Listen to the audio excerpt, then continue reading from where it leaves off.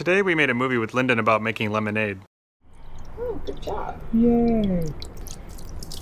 Oh, Lyndon, go like this. Lyndon, go. It got a little messy.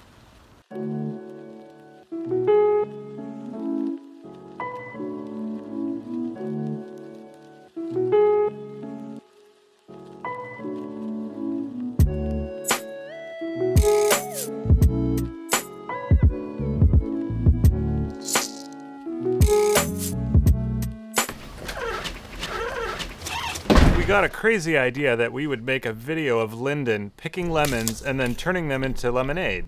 Like a video for kids to watch. We started off getting a few shots that looked fun, But after a few minutes we realized she just wanted to play and do whatever she felt like. As we probably should have expected, Lyndon was definitely not into following directions to help us complete a list of shots that we wanted to get. Trying to get her to act out any specific story that we might have had in mind was clearly not going to be an option. So we came up with an idea that was better for everyone. Our new idea was to just give her a costume and some props, let her have fun and film her and get whatever we can get. In order to put together any kind of a story, we were going to need to be able to find shots that we could make without kids around at all.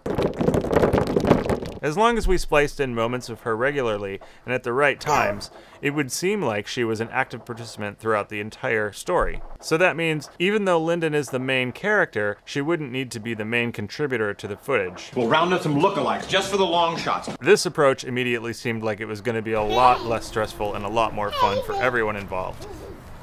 An earworm is when you have a song in your head and you don't quite know why.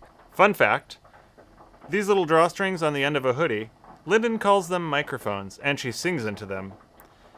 But there's one sound. Mary, Mary, don't, uh, don't forget ask good. Ah! After our first day of shooting, I was a bit discouraged because it didn't seem like we had gotten enough to make anything interesting. But what I didn't know is that Michelle had started putting stuff together. And I wanted to come in and check it out. One, two, three. This is so fun. She made it like a music video.